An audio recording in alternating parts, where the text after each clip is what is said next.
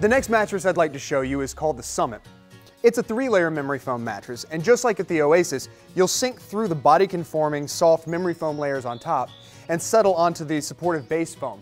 What you'll notice is that we have a third layer in this one, which we call a transition layer, which adds an extra layer of comfort. This mattress is perfect for anybody who really just likes a fairly firm mattress.